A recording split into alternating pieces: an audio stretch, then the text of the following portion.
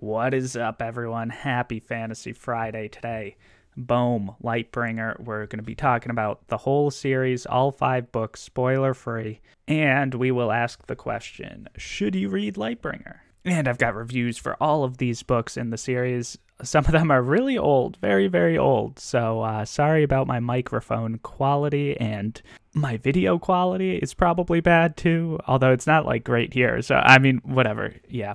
You have been warned if you watch those videos. So, yeah, Lightbringer by Brent Weeks. What is the story about? Well, there's a chosen one trope, which is not a spoiler at all. It's kind of evident in the first chapter of the first book that that there's a prophecy or whatever for a chosen one, and the chosen one is called the Lightbringer. I think people who don't even like the chosen one trope could still probably enjoy this series, uh, just because it's not like a super cookie cutter chosen one trope.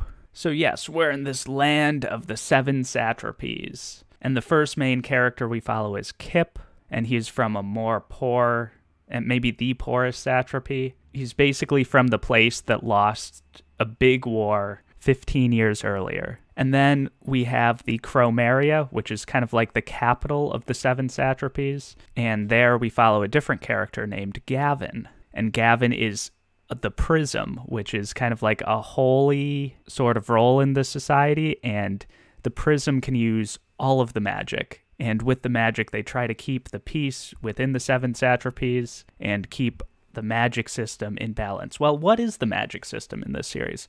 Well, I love the magic system, and it's probably the most praised part of the series.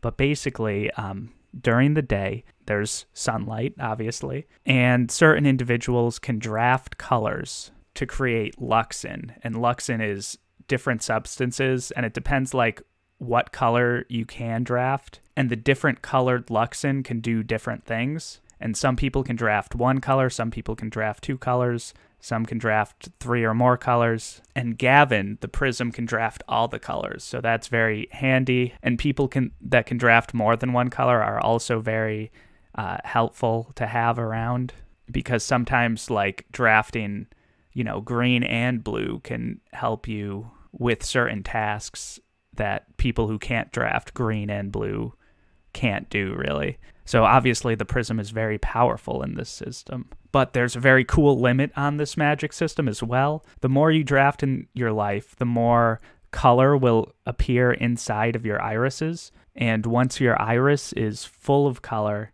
it breaks and the like white part of your eye gets that color in it and you go like kind of crazy for lack of a better term and that's called breaking the halos and one of the main antagonists of this series has broken his halos so you know he's a very bad unpredictable villain now kip is the poor child from the poor area and then the prism realizes that he is related to kip so that's how Kip and Gavin end up meeting, and it kind of goes from there. And Kip is, you know, reaching, he's like a teenager, so you start to get your like magical powers when you're a teenager, I think.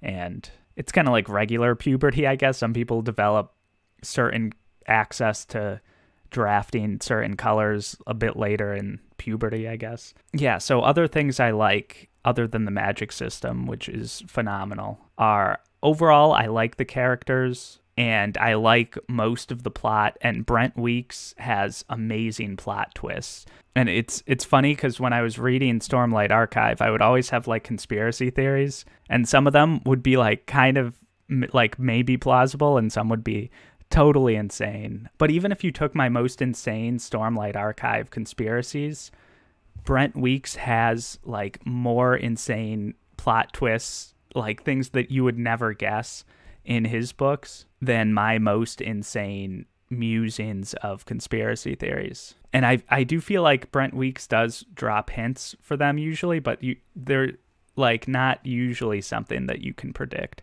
I remember predicting a big plot twist in book 2, but yeah, it's not so much a puzzle to solve, but more of like a roller coaster plot that you're just holding on for dear life trying to keep up with.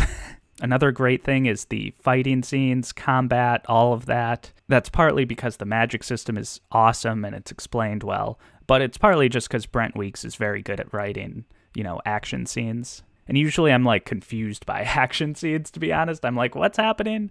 But yeah, they're super cool in this book. Oh, also, I should mention that this is flintlock fantasy, so there are muskets. So yeah, if you're into that, this is a decent place to journey to. Um, things that people may not like. Uh, so this book is very criticized for male gaze, particularly earlier on in the series. Like I said before, Kip is a very immature 14, 15 year old at the start. So it's always like him looking at like attractive young women and being like, "Wow, I could never get with her." But it's it's not even just like over description of women. I think it's not just really male gaze, it's just all of the gaze. Kip would see a guy and be like, "Wow, like I wish I was in better shape like that guy is." And just, you know, there just a lot, a lot, a lot of physical descriptions of characters and you know how physically attractive they are, how sexually attractive they are, and uh, some people I'm sure are uncomfortable with the amount of times those things are described, and I think it is done a lot less often and a lot better later in the series, and part of that is because you know Kip matures, I guess. He gets less insecure. Same with some of the other characters like Karris and there's a character you're introduced to in book two who also gets less insecure or more secure, I guess, um, with their body image and you know view of themselves i guess kip is also just generally whiny early on in the series again he gets less whiny as the series goes on and also there's just general discomfort in this series um, like there's one character who has multiple sets of dentures, so they keep taking like teeth of people they kill. This person's like an assassin, by the way. So yeah, that's pretty weird. And like he'll meet someone and be like, "That is a very nice second incisor tooth," and it's just like it's just like unbelievably uncomfortable. I don't know why Brent Weeks does this, to be honest. And then, oh my God, Zymun, don't even get me started. Jesus Christ. I like had to stop reading in the uh jeez, I can't even talk about it. Honestly, the series probably would have been better if Zymun were just launched into space at some point. But you guys don't even really have to worry about that too much.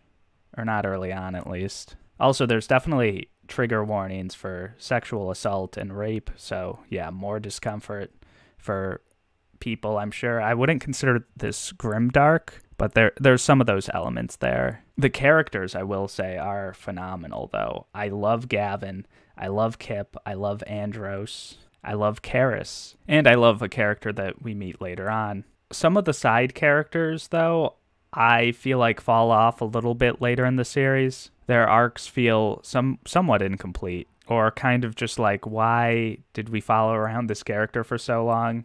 And it definitely made the last book drag on a bit too long, but the last book, it's definitely not disappointing because all of the plot twists come together very nicely. Going through that last month, there there was a plot twist like every chapter and the chapters are super short. The last book had like 150 chapters maybe, and from chapters 75 to 140 I was on the edge of my seat. So yeah, the series ends great. Book three, definitely my favorite. Books five and one were good. Book two was good, but it dragged on a bit too long. And for me, it lacked the amazing plot twists that a lot of the other books had. And book four was probably the worst. It was very much set up for book five. Book four tried to set too many things up, so that was part of the problem. It was a lot shorter, though, too, so it was tough for it to be able to set up stuff for the climax of book four and for everything in book five. And yeah, I think that's everything. Oh, what else? Writing style. This is a bit unique of a writing style. You do get a lot of inner monologues, which I think is overall good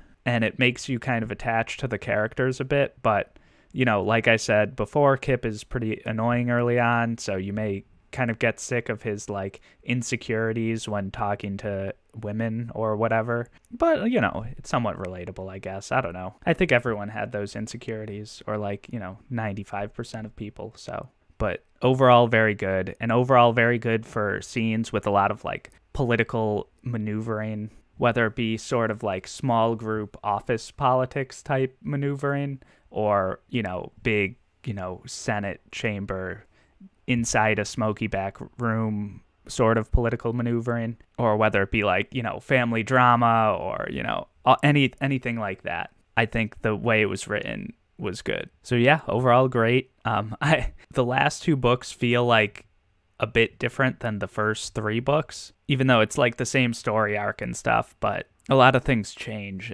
in a way that I'm not a huge fan of in books 4 and 5 but you know the climax to book three that's that's phenomenal. I love it. But yeah i mean i would pick it up. I'll have to see where it ranks. Uh, i'm reading malice this month and you know one book from that series for the next you know four months or whatever. So so i i do wonder if i'll like that more than lightbringer i feel like i actually somehow like lightbringer more than first law which is that is that crazy there are a lot of similarities um you know, because discomfort, we're talking about Glokta torturing people. The writing styles are very different, but you do get a lot of inner monologues in both.